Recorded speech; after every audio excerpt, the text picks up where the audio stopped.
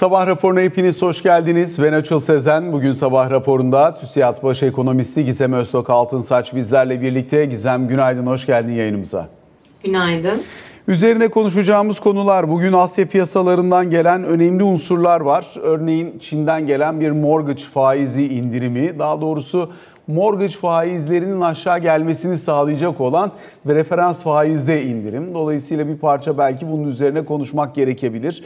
Diğer tarafıyla özellikle yılbaşından bu yana Amerika Birleşik Devletleri'nde para piyasası fonlarına akımın hızlanmaya devam ettiğini gözlemliyoruz. Dolayısıyla piyasada yoğun bir likidite var. Bu likiditenin nereye ne şekilde akacağı konusunda tartışmaların devam ettiğini gözlemliyoruz. Diğer taraftan yine özellikle bizim iç gündemimize dönüp baktığımız zaman ön plana çıkan yine önemli unsurlar var. Bunlardan bir tanesi mevduat faizlerinin geldiği düzey.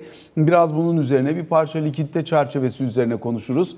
Yine aynı zamanda borç istatistikleri dün itibariyle geldi. Bir parça belki genel olarak kısa vadeli borç düzeyi üzerine de değerlendirme yapmaya çalışırız. Ee, özellikle piyasadaki likidite koşullarının nereden nereye geldiği tartışacağımız alanlardan bir tanesi.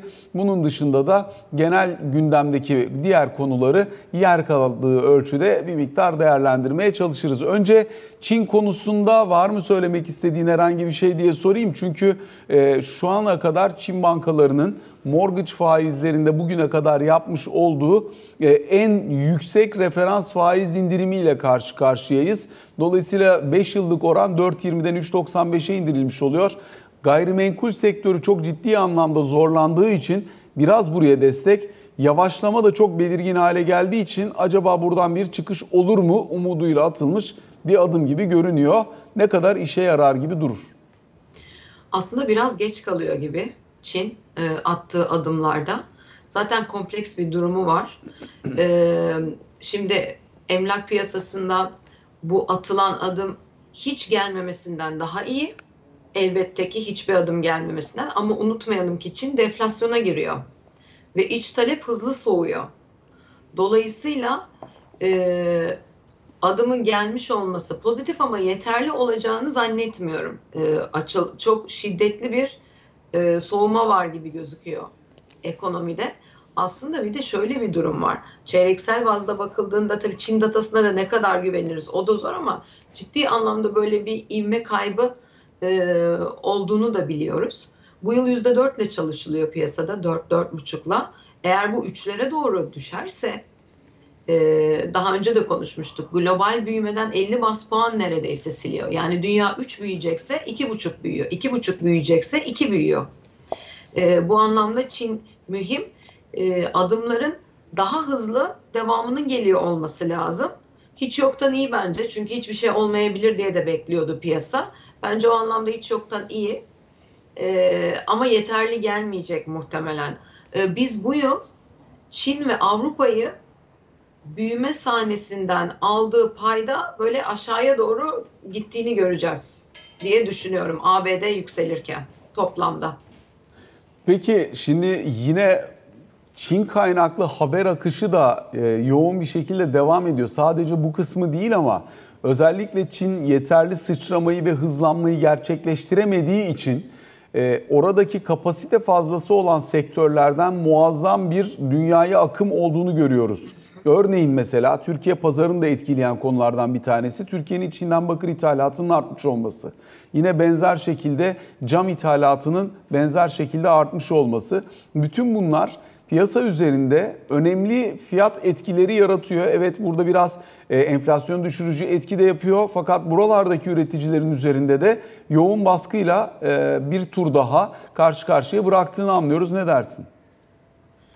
Yani ham madde ithalatımızda zaten aramalı ithalatımızda çeşitli bahsettiğin e, emtialardan fiyat etkisinden dolayı bir düşüş var ve bu aslında Çin'deki yavaşlamadan kaynaklanıyor. Dünyadaki emtia fiyatları üzerindeki baskı. E, ama e, elbette ki dengeler bir miktar değişiyor. Çin'i biraz geriye saracak olursak aslında şöyle bir süreçten geçti e, büyümesi yüzde onlardayken bunun çok büyük bir kısmı 6 puan civarı yatırımlardan geliyordu. Yani 1-2 puanı ihracattan geliyordu. Aslında Çin gerçekten biz hep ihracatla büyüdüğünü e, ezber olmuş durumdadır ama düşünürüz. Çin aslında yıllarca yatırımla büyümüş bir ekonomi. Bunu da teknoloji açığını kapayarak, o sıçramayı yaparak gerçekleştirmiş bir ekonomi. Şimdi o çoktan kapandı. Ve biz son 5-6 yıldır Çin'in yeni bir hikaye yaratamayışından e, bahsediyoruz. O hikayeyi de Çin tüketime çevirmeye çalışıyor. Fakat görünen o ki hem çeviremiyor hem de deflasyona giriyor olması. E, tabii bu arada bize gösterilen datalar üzerinden konuşuyoruz. Yani Çin'e gidip de orada iş yapan insanlar oradaki vaziyeti böyle data konuşmaktan çok daha e, iyi telaffuz ediyorlar. O yüzden hani yanlış da bir şey söylemekten çekinirim burada sadece data bazlı konuşmak durumunda kaldığım için ama e, genel itibariyle o yapısının da e, değiştiğini görüyoruz. O üretim yapısı da örneğin belli bölgelerdeydi. Onu Çin bir takım politikalarla ülkenin başka kanallarına doğru aktarmayı tercih etti geçtiğimiz yıllarda da. Sonuç itibariyle Çin bir şeyleri başaramıyor. Çabası var ama bazı konularda geç kalıyor. Diğer taraftan da tüketimi canlandırmayı başaramıyor. Bir de Çin'in şöyle bir handikapı var. Ee, aslında biz şunu bekliyorduk değil mi Açıl?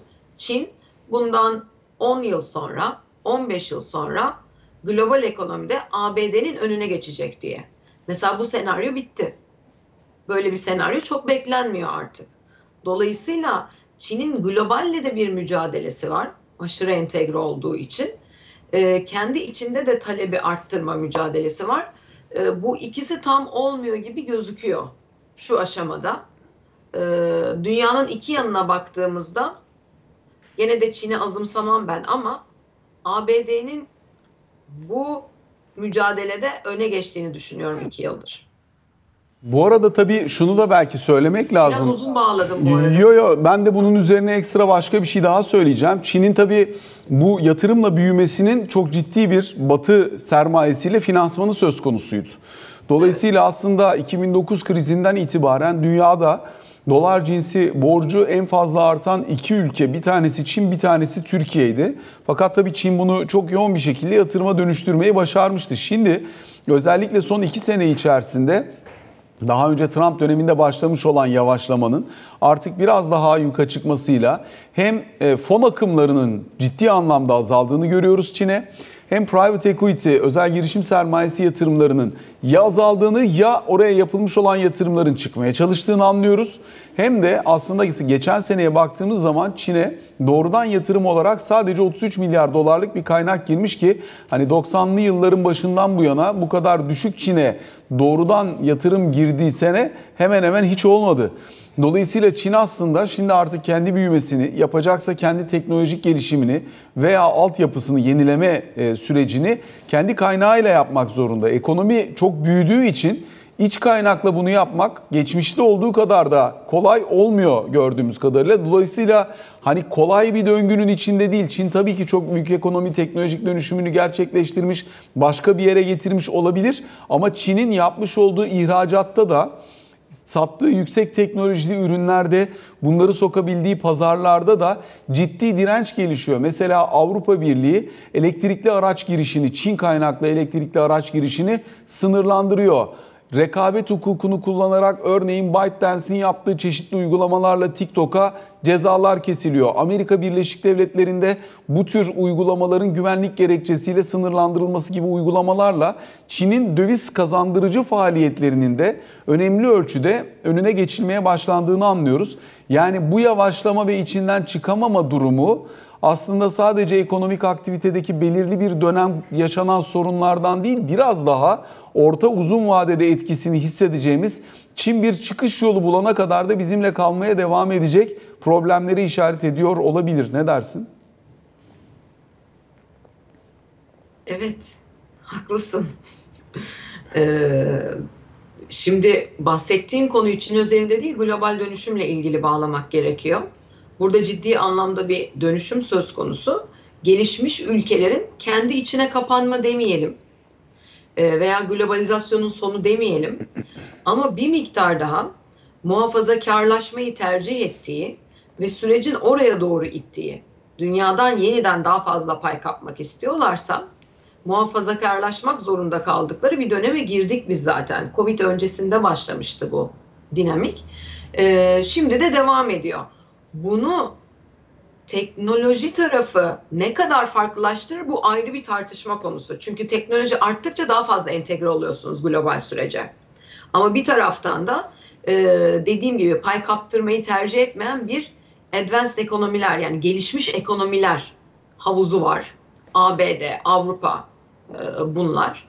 Demin bahsettiğin elektrikli araç örneği bununla ilgilidir. E, dolayısıyla e, bir taraftan o teknoloji gelişirken o teknolojiyi de içeride barındırma çabası oluyor. Üretme ve pazarlama anlamında. Pazarlamayı gene yurt dışına yapabilirsiniz ama çeşitli bölgelere. dolayısıyla burada oyuncu olmak istiyorsanız da birazcık daha konservatif olmanız gerekiyor gibi gözüküyor. Çin burada biraz dışarıda kalacak gibi. Gerçi kendisi de içinde bulunduğu bölgede 28 ülkeyle başka bir takım anlaşmalar yapıyor. O yüzden e, global sahneden çekilmesi değil de bizim gördüğümüz global ekonomide bence iki sahne oluyor olacak. Biri doğu gerçekten iki sahne oluyor olacak. Yani biz bunu çok konuşuyoruz ama öyle değil. Gerçekten aslında hele bir de Çin ödeme sistemi oluştursa Çin ya da Rusya Swift'e alternatif olabilecek. O zaman dünya tamamen ikiye bölünür diye düşünüyorum. Ee, tek bir ödeme sistemine bağlı kaldığı için dünya hala daha böyle ABD'nin hegemonyasında gidiyor ister istemez. Ee, ama bundan sonraki süreçte bunlar olursa ikiye bölünmüş bir dünya göreceğimizi düşünürüm. Fakat gene de Çin'in şu anda görünen vadede e, yeni bir atılım yapacak gibi durması zor gözüküyor. Avrupa şöyle söyleyeyim e, maalesef gerçekten yaşlanmış durumda ve çeşitli hastalık emareleri görüyorsunuz Avrupa ekonomisinde. İçinden çıkmaya çabalıyor ama yapısal olarak orada da sorunlar var.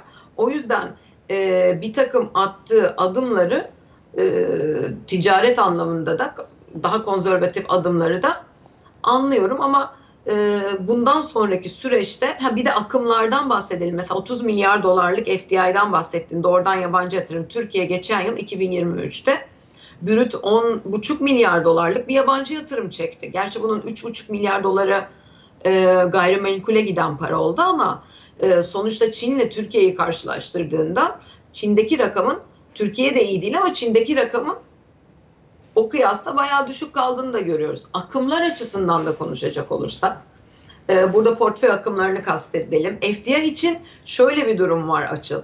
Hem büyüme vaat olmanız gerekiyor hem regülasyon ortamının destekleyici olması gerekiyor. PE için de aynı şey geçerli. E, özel girişim sermayesi için, private equity için. Dolayısıyla Çin şu anda bir büyüme vaat etmediği gibi acaba bu iki mi olur, üç mü olur, dört mü olur tartışması dönüyor dünyada.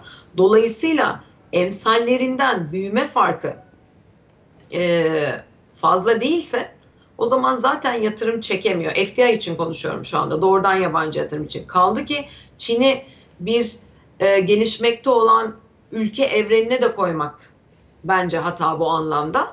Burada e, büyüme farkları gelişmiş ülkeler lehine bu yıl. EMDM farkı kapanıyor. Bu da gene gelişmiş ülkeler lehine. Dolayısıyla sadece Çin özelinde değil, Çin bence bunun en kötüsüdür ama gelişmekte olan ülkelerin de düzgün bir e, doğrudan yabancı yatırım akımı çekip çekemeyeceğinden emin değilim. Portföy akımlarına gelince de geçen yıl Kasım Aralık'ta Türkiye'ye akım olurken dünyada da sağlam bir flow oldu. Ve Ocak Şubat'a baktığımızda dünyada şu anda IME olan akış gene yavaşlamış durumda hafif hafif. Türkiye'de de yavaşladı ama bu münferit yani kendi hikayesinden dolayı mı globalden dolayı mı bence o da sorgulanır. Portföy akımlarında da sanki İM büyüme farkı kapandığı için gelişmiş ülkelere kıyasla e, çok akım çekemeyebilir bu yıl. Bunu bizim ikinci yarı yılda bir daha konuşuyor olmamız lazım. İlk yarı yıl için bence böyle durum. Peki Gizem, Çin'in denklemde biraz daha dışarıda kaldığı, Rusya'nın tamamen denklemin dışında kaldığı bir ortamda daha önceki yıllarda gelişen ülkelere fon akımı olduğu dönemlerde biz BRICS ağırlıklı olarak görürdük. Yani Brezilya, Rusya, Hindistan, Çin bu ülkeler içerisinde iki büyük oyuncu devre dışı kalıyorsa gelişen ülkelere varlık alokasyonu buradan nasıl etkilenebilir? Acaba o varlık alokasyonunda bir miktar daraltması beklemek gerekir mi? Yoksa diğerlerine benzer ölçüde kaynak girişi eşit dağılım prensibi ya da daha ön plana çıkan prensip neyse ülkeler arasında e, onun lehine olacak şekilde benzer miktarlarda mı kalır? Şimdi öncelikle bu bahsettiğin evrende e, demografik yapısı son derece güçlü. Bu dört ülke artık BRICS diye bir şey kalmadı tabii tanım olarak ama e, o dönemde yüksek büyüme potansiyeli olan ekonomiler için ve e, demografik yapısı buna uygun olan ekonomiler için kullanılan bir terimdi. Bunların içinde Hindistan şu anda çok parlak. E, dolayısıyla oradaki alokasyonun hepsini Hindistan'a e, kaydırırlar gibi bir düşüncem yok. Bence IM alok yani alokasyonda DM IM'e kıyasla bir kademe daha öne çıkıyor bu yıl diye düşünüyorum. Ama IM içinde de e, Hindistan son derece e, güçlü e, gözüküyor. E, diğer iki bölgede evet bir tanesinde zaten e, politik sebeplerden bir akım e, yeterince olamıyor şu anlık. İlerisinde bilmiyoruz bu arada. Diğerinde de büyüme hikayesinden olamıyor. Hindistan aldığı payı arttırır ama EMDM alokasyonunda bence gelişmekte olan ülkelerin ağırlığı azalır. Azalıyor ee, bu yıl. Dediğim gibi bu daha çok o iki bahsettiğin bölgenin hikayeden çıkmasından ziyade toplam gelişmekte olan ülkeyle gelişmiş ülke büyüme farkının kapanması da rol oynuyor. Yalnız şunu da söyleyeyim açıl. Evet flow anlamında şu anda Rusya denklemden çıkmış gözüküyor ama Rusya global hikaye yazımında örneğin Avrupa'nın yavaşlamasında denklemdeki birinci oyuncu. Sebep olarak Avrupa'nın yavaşlaması da demeyeyim. Resesyon devam ediyor. Yani ABD büyüme verileri yukarı revize edilirken şu anda Avrupa 2024 büyüme rakamlarının bir kısmı aşağı revize ediliyor. Hatta yeniden bir daralma dahi söz konusu olabilir Almanya'da. Almanya'da ee, dün Bundesbank'ın açıklaması var bize göre resesyonda Alman ekonomisi diye. O açıklamayı kaçırdım ama bana göre Alman ekonomisi çok uzun süredir resesyonda zaten. Bundesbank beni takip etsin diyorsun. Peki devam edeyim burada. Yani bence öyle de e, yani 2000 e, bu arada bunu datalardan e, görüyorsun da teknik bir açıklamadır. Açıklamayı görmedim. O yüzden üzerine e, yorum yapıp hatalı bir şey söylemek istemem. Ama şu mesela yanlış bir tahmin. De, e, IMF'in de yaptığı, OECD'nin de yaptığı. Daha 2024'e girerken Almanya'nın kendini çok kurtaramayacağı belliydi. O yüzden burada büyüme rakamlarının daha da aşağıya geliyor olması, kesiliyor olması bence geç kalınmış bir tahmin yakalaması. Onu kastettim. Peki. 2-3 yılda devam edecek bu arada. Pardon bölüyorum. Yani konjonktürel bir şey gibi görmüyorum ben Avrupa'nın vaziyetini. Peki Gizem biraz Türkiye tarafına dönebilir miyim? Türkiye'ye dönüp baktığımızda e, son dönemde öne çıkan birkaç tane gelişme var. Bir tanesi zaten çok fazla üzerine konuştuğumuz likitte meselesi. Likitte fazlasının şu dönemde ufak ufak yeniden 200 milyar liraların üzerine doğru çıktığını, bir parça daha arttığını anlıyoruz. E, Merkez Bankası çeşitli uygulamalarla bunu çekmeye devam ediyor. Fakat likidite sorunu şu an itibariyle hali hazırda sürüyor. E, dolayısıyla burada e, piyasa dinamiklerini veya aktarım mekanizmasını eskisi kadar bozmasa bile bu likidite fazlasından kalıcı olarak kurtulmak ne kadar vakit alacak ya da hangi yolla? Şöyle şimdi KKM dönüşlerde olduğu müddetçe ve bankaların aslında mevduat toplayayım, kredi vereyim süreçleri de sekteye uğradığı müddetçe bence dönem dönem likitte fazlası ortaya çıkacaktır. Ee, bu süreç tamamlandığında belki e, daha rayına girer. Dolayısıyla sürekli olarak ince ayar, likitte yönetiminde ince ayar yapılması gereken bir dönemdeyiz. Bu ayarlar geliyor, bazen gecikmeli geliyor, bazen doğru yönlendirmeler oluyor. Ee, sürekli olarak piyasada bunun devam ettiği bir süreci bence göreceğiz. Çok böyle Merkez Bankası'nın düşündüğü kadar geçici mi oluyor? Yani şu anki likitte sonuçları çok tam öyle değil. Hala da piyasada biz bunu konuşuyoruz ve bu şöyle önemli. Aslında açıl e, şunu da unutmayalım. Evet biz likit yönetiminden bahsediyoruz ama e, ve yükselen bir faiz de var. Fakat monetizasyon da çok yüklü. Türkiye'de yani parasal genişleme var. Bu biraz fiskal kaynaklı. Ee, toplamda bakıldığında biraz böyle sokak ağzıyla konuşacağım ama e, para var piyasada. Vaziyet böyle olduğu için de e, böyle likit yönetim bunun mikro kısmı. Ben hani toplam resme bakacak olursam e, yeterince sıkı gözükmüyor politikaların toplamı. Seçim sonrasında daha sıkılaşmasını bekliyor musun peki? Öyle bir söylenti var evet. yani bekliyoruz yönlendirmeler o şekilde olduğu için ama şöyle de bir problem var. Yani bunu biz ne kadardır konuşuyoruz? En başından beri konuşuyoruz. Hatırlıyorum Temmuz Ağustos'ta da konuşuyorduk. Ama Otorite seçim bitmedi ya ondan dolayı kalmaya devam ediyor olabilir? Evet, seçim Mart'ta yani. Sen sen ne kadar konuşursan konuş seçim orada bitiyor. Şimdi şöyle bir durum var. Bunu iki ay konuşmak başka bir şey, sekiz ay konuşmak başka bir şey. İki ay öne çekilmiş talep yaratırsınız. Sekiz ay boyunca öne çekilmiş talep yaratırsınız. Dolayısıyla yine zamanda tutarsızlık oluyor. Sözel bir yönlendirme var. Yani şöyle oluyor. Yapacağınız zaman söyleyin ya da söylediğiniz zaman yapın. Sürekli bu şekilde yönlendirme yaptığınızda bak şimdi ne oluyor?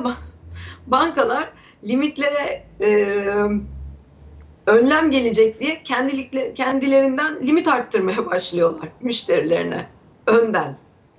E bu böyle olunca yani tercih edersiniz etmezsiniz. Müşteri bunu kullanıyor veya kullanmıyor. E bakıyorsunuz Merkez Bankası tarafına limitlerle ilgili e, enflasyon raporu içinde de var. Yüklü limitlerin bir kısmının kredi maksatlı kullanıldığı yani borçlanma maksatlı kullanıldığı bir kısmı gerçekten harcama maksatlı kullanıldığına dair bir çalışma var. Demek ki kredi maksatlı kullanılmasını tercih etmiyor. Buraya bir adım hazırlığı içinde. Veya artık hani seviyesi tabii e, geçim sıkıntısı olan vatandaşların kullandığı seviyeden değil de gerçekten ekstra talep yaratan bir e, yüksek limitlerden bahsediyorum. Kaldı ki orada da şöyle bir problem var. Anadolu'da insanlar bu kartlarını ticarette kullanıyorlar yüksek limitlere. Kredi bulamadıkları dönemlerde. Onu nasıl ayarlarlar ya da bilemiyorum nasıl yaklaşımı merkezin o konuya ama o bende bir soru işareti yaratıyor. Onun dışında taksitlendirme, diğer konular e, bunların hepsine önlem gelecek ama ben sana net söyleyeyim.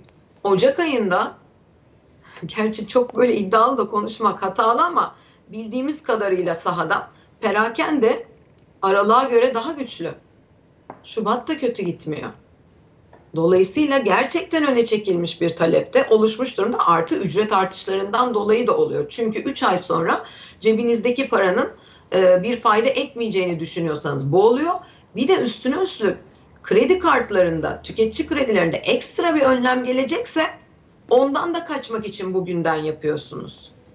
Ee, seçim sonrası dönemde adımlar bekliyorum ama e, dediğim gibi e, bu bahsettiklerim de gerçek. E, o yüzden bence zamanda tutarsızlık oluyor ve hatta bir adım daha öteye gideyim. Bence iç talebin gücü azımsanıyor otorite tarafında. Bilseler dahi yani e, orayı hızlıca durdurabilecek adım gelemiyor. Aşırı iç talep diyelim bu arada. Sakın yanlış anlaşılmasın. Hani Türkiye çok yavaşlasın, iç talep olmasın gibi bir şeyden bahsetmiyorum. Enflasyon yaratan kısmından bahsediyorum. Peki bir de son e, borç istatistikleri geldi ya kısa vadeli borç bunun çevrilmesiyle ilgili e, veriler, istatistikler. Hani böyle baktığımız zaman kabaca 226 milyar dolar civarında evet. bir e, dış borç servisi yükümlülüğü var. E, işte işin içerisinde cari açık var, diğer unsurlar var. E, fakat bir yandan da borçlanmalar yoluyla borç çevirme rasyosu yükseldiği için bunun önemli bir kısmının rahatlıkla çevrildiğini anlıyoruz. Bir yanıyla yine baktığımızda hakikaten belirli bir e, alacak, borç alacak ilişkisi e, buradaki şirketlerin ya da buradaki varlıkların yurt dışındaki karşılıklarıyla, oralarla yapılacak olan işlemlerle ya da daha önce yapılmış işlemlerle e, de e, oluşmuş durumda. Dolayısıyla hani bunun üzerine çok tartışılıyor. Konuyu derinlemesine bilmediğin zaman e, bu kadar borç işte yıl içerisinde 135 milyar dolar falan diye konuşuluyor finanse edilmesi gereken açık döviz açığı vesaire falan diye ama hani e, Türkiye'de borç uzun yıllarca çok rahatlıkla çevrilebildi. Hele ki bu dönemde sendikasyonlarla veya diğer e, çevirme imkanlarının kullanılmasıyla çok rahat rahat e, döndü Türkiye'de borç bugüne kadar. Bundan sonrası için var mı o tarafta herhangi bir endişen? Hani Mart, Haziran, Ağustos ve Kasım'da yüklü borç ödemeleri var çünkü. Evet dış borç servisi o aylarda yüksek. Şimdi dış e, toplam dış finansman ihtiyacındaki kalemlere bakacak olursak bunlardan bir tanesi bir yıla düşen iç borcunuz. E, özür diliyorum. Bir yıla düşen kısa vadeli dış borcunuz. Zaten bahsettiğin 226 milyar. Fakat bunun dediğim gibi e, hemen hemen tamamı çevriliyor. Bir problem yaşanmıyor. E, normalde bu rakam 100 milyar dolar civarlarındaydı. Bundan 6-7 yıl evvel. Bu giderek böyle artıyor. Bir sebep de tanımının değişiyor olması. Bazen böyle etkiler de oluyor. Yani cover ettiğiniz tarih biraz daha farklılaşınca o borç stoğu da birazcık artıyor. Bu temel sebep değil ama bunun da etkisi olabiliyor. E, artı şeyi çok anlamadım. E, çevirmemiz gereken para 135 milyar. Yok yok döviz ihtiyacı olan kısmı. Hayır değil öyle değil. e, şimdi Kısa vadeli koymanız gerekiyor. Brütten bahsediyorum. Brüt dış finansman ihtiyacından 200 milyar dolar diyelim. Demin konuştuğun rakam 200, 226. 226 milyar. Ee, onun üzerine cari dengeyi koyuyor olmanız gerekiyor 35 milyar. Aynen öyle. Onun üzerine de dış borç amortismanını koymanız gerekiyor. Uzun vadenin bu yıla düşenini. Kamu, banka, banka dışı. Bu da yaklaşık olarak 30-40 milyar dolar oluyor. Şu anda hafızam yanıltmıyorsa. Dolayısıyla buradan hesapla 300'e yakın bir rakam çıkıyor. Ee, bürüt bakıldığında. Normalde ben 230-240 ile çalışıyorum her yıl. Ee, hani burada kısa vadenin artıyor olması biraz rengi değiştiriyor. Ama biz şöyle bakarız normalde de. Kısa vade zaten çevriliyor diye bakıyoruz analist olarak. Dolayısıyla e, ben şu anda Türkiye'de bir FX likitte riski yani çevirmekte zorlanacağımız bir döviz görüntüsü olduğunu düşünmüyorum. Ee, para politikası burayı biraz çıpaladı. Ben de bunu demek... ben de bunun için özellikle soruyorum. Yani bir çevrilmesi gereken borcun rahatlıkla çevrildiği dikkate alındığında, iki döviz girdi ve çıktısı arasındaki denklem şu an itibariyle işlevselliğini korumaya devam ettiği noktada işte seçim sonrasında kurda bir yükseliş, bir sıçrama beklentisi var ya bunu bir rasyonele oturtmak istediğimizde var mı bunun bir karşılığı onu anlamaya çalışıyorum. Ben oturtamıyorum ama şunu da şimdi ben bunu teknik açıdan oturtamıyorum. Böyle bir şeye sebep verecek bir durum yok. Evet kurda kademeli değer kaybı var ve o değer kaybı yılbaşından bu yana bizim öngördüğümüzden daha yüksek. Yıllıklandırdığında. Bu da doğru. Fakat dönem dönem otoritenin buraya kuru kontrol etmek adına müdahale ettiğini de biliyoruz rezerv harcadığını da. Eskisi kadar olmasa da. Ee, öyle de yapmak zorunda kalıyor ister istemez. Fakat seçim sonrası dönemde burada kuru bırakacakların mantığını hiç anlamıyorum. Çünkü şöyle bir vaziyet var. Kuru bırak bırakmak da doğru kelime değil ama bu beklenen seviyelere 40-45'lere bir anda gelirse hani denir ya biz o zaman dükkanı kapatalım. O zaman biz en başa döneceğiz. Bu kadar faiz arttırımı hiçbir işe yaramamış olacak. Üstüne 20 art 20 puan daha arttırsanız bile gene işe yaramıyor olacak. Gün sonunda yeniden ücret ayarlamaları şiddetli geliyor olacak. Türkiye bu sarmaldan çıkamayacak. Dolayısıyla ihracatçının geldiği e, sıkıntılı durumu anlıyorum ama çıkış burada değil e, maalesef. Bu bence birincisi. E, o yüzden ben bir rasyonele oturtamıyorum. Ama açıl bir de şöyle bir durum var. Evet. Özellikle kur özelinde e, bu kendi kendini doğrulayan kehanet diye geçiyor biliyorsun hani davranışsal finansta da. Siz bekledikçe talep ediyorsunuz ve talep arttıkça fiyat oraya geliyor. Bunu da denklemden çıkartamıyorum. O yüzden kesinlikle böyle bir şey beklemiyorum diyemem ama verdiğim ihtimal %20 civarlarında onu söyleyebilirim. Gizem çok teşekkür ediyoruz aktardığın yorumlar için. Kısa bir ara sonrasında Ali Can Türkoğlu ile ikinci bölümde karşınızdayız.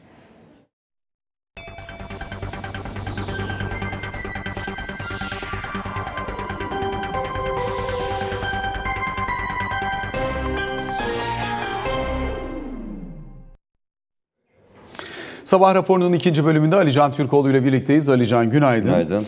Ee, gündem maddelerin üstünden çok hızlı hızlı gidelim. Bir EKK toplantısı ve çıktısı. Ee, yatırım taahhütlü avans kredilerine ilişkin genel durumun değerlendirilmesi yapılmış. Ee, bu Türkiye'nin ödeme yöntemi ile ilgili olarak, TRO ile ilgili olarak e, düzenli, kullanımında düzenli bir artış olduğu, tüm kamu kurum e, ve kuruluşlarından başlayarak bunun kullanımının da yaygınlaştırılacağını özellikle e, vurgusu var. Deprem bölgesine yönelik zaten e, ayrı bir gündemi var Ekonomi Koordinasyon Kurulu'nun. Son bir yılda özellikle konut ihtiyacına yönelik çalışmaların e, yapıldığı, yapılmaya da devam edeceği, bu kapsamda da bu adımlara e, özellikle önem verileceğinin vurgusu yapılıyor. OVP'deki yapısal reformların tamamının ele alındığı söylenmiş. İşte finansal okuryazarlığı artırmaya yönelik çalışmalar yine özellikle altı çizilen hususlar arasında şurası önemli. Enflasyonla mücadeleye yönelik para politikası etkin şekilde uygulanmaya devam edecek deniyor EKK'nın sonrasındaki yazılı açıklamasında. Dün Vladimir Putin'in açıklaması var. Ee, özellikle işte Rusya'nın e, dünyaya enerji sağlamadığından bahsediliyor fakat biz sağlamaya devam ediyoruz. Örneğin Türkiye hattı üzerinden sağlanan gaz akışı diyerek Türkiye'ye de vurgu yaptığı açıklamaları var. E, enerji alanında şu anda en güvenilir ortağımız Türkiye diyor. Türk akım üzerinden yapılan sevkiyatın devam ettiğini vurgulayarak özellikle burada e, batılı ülkelere şöyle bir eleştirisi var e, Putin. Rus gazı almaya bırakarak Rusya ekonomisine zarar vermeyi denediler. Ancak bu süreç tamamen tersine işledi. Bunun aynısını Ukrayna ile varılan mutabakat sırasında da e, yaptılar diyor. Yani İstanbul'da varılan mutabakatta normalde bir buçuk sene öncesinde e, barış yoluna girilebilecekken Ukrayna yine aynı ülkelerin e, düşüncesine, yoluna girip bu mutabakattan vazgeçti. Hem enerji konusunda hem diğer siyasi konularda batılı ülkeleri eleştiren bu arada da özellikle enerji gündeminde de Türkiye'ye öven açıklamalar. Ya burada şöyle bir durum var. Muhtemelen Mart ayında yapılacak e, Türkiye ziyaretinde zaten enerji konusundaki yeni işbirliklerinin konuşulacağını biliyoruz. Bununla ilgili bir e, ön açıklama olarak da algılanıyor Ankara'da. Peki devam edelim. Özellikle İsrail, Amerika Birleşik Devletleri ve buradaki çözüm sürecine ilişkin ortaya konulan taslak üzerine de bir miktar değerlendirelim. Şimdi Amerika Birleşik Milletleri bir taslak sundu. Bahsettim budur diye tahmin ediyorum ilk kez ateşkes kelimesinin geçtiği bir e, ta, taslak ama şöyle bir e, ince ayrıntı var. Tüm esirlerin serbest bırakılması halinde devreye girecek geçici bir ateşkesten bahsediliyor. Bunu özellikle sunuyor Amerika Birleşik Devletleri Birleşmiş Milletler Güvenlik Konseyi'ne.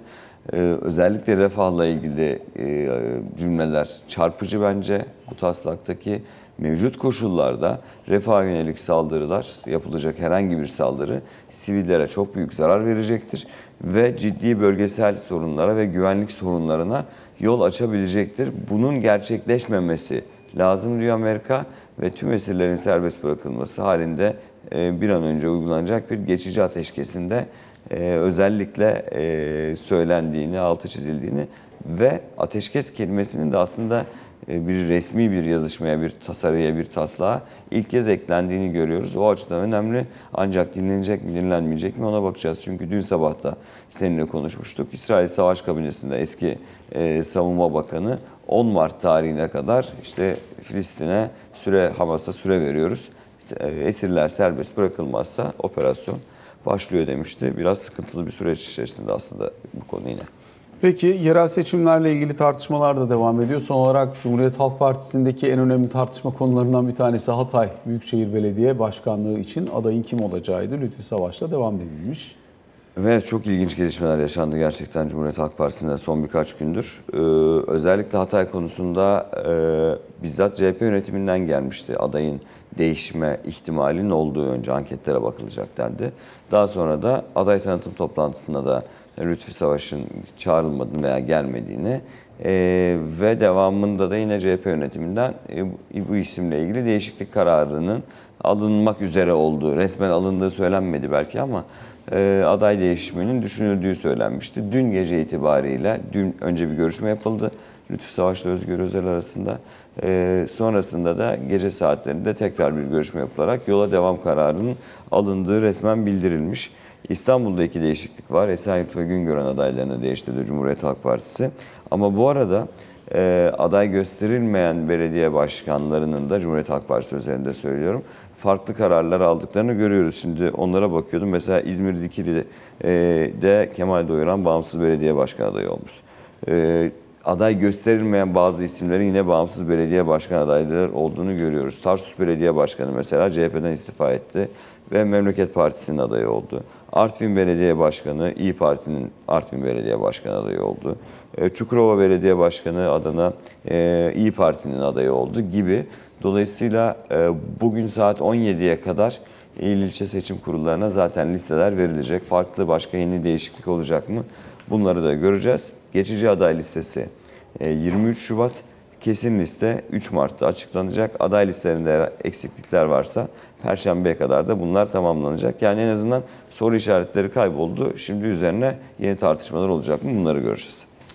Teşekkür ediyoruz Alican. Böylelikle sabah raporuna son noktayı koymuş oluyoruz. Hoşçakalın.